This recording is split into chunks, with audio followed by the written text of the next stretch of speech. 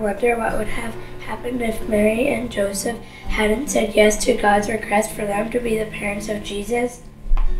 They were the first to say yes to Jesus. They were the first to accept him into their hearts.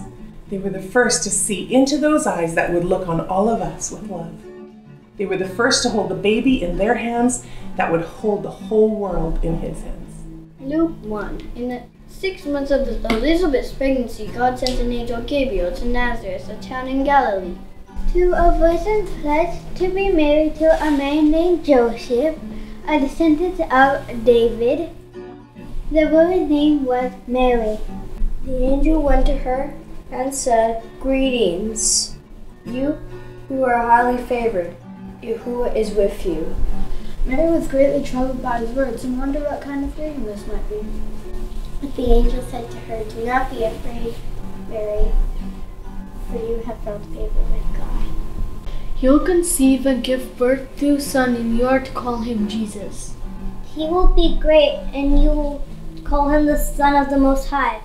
The Lord God will give him the throne of his father David, and he will reign over Jacob's descendants forever. His kingdom will never end.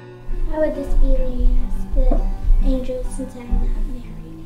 The angel answered, The Holy Spirit will come on you, and the power of the Most High will overshadow you. So the Holy One to be born will be called the Son of God.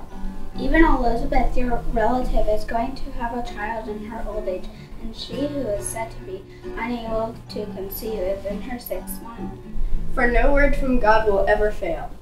I am the Lord's servant, Mary answered. May your word to me be fulfilled. Then the angel left her.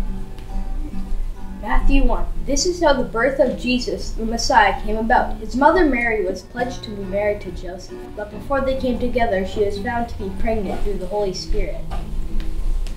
Because Joseph, her husband, was faithful to the law and yet did not want to expose her to public disgrace, he had in mind to divorce her.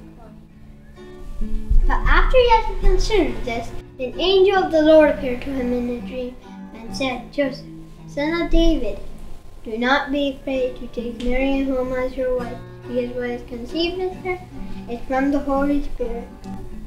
She will give birth to a son, and you are to young man Jesus because he will save all people from their sins.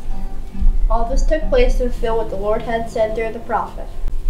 The virgin will conceive and give birth to a son, and they will call him Emmanuel, when Joseph woke up, he did what the angel ordered him and took Mary as his wife. But they did not live as husband and wife until she gave birth to a son, and he gave him the name Jesus.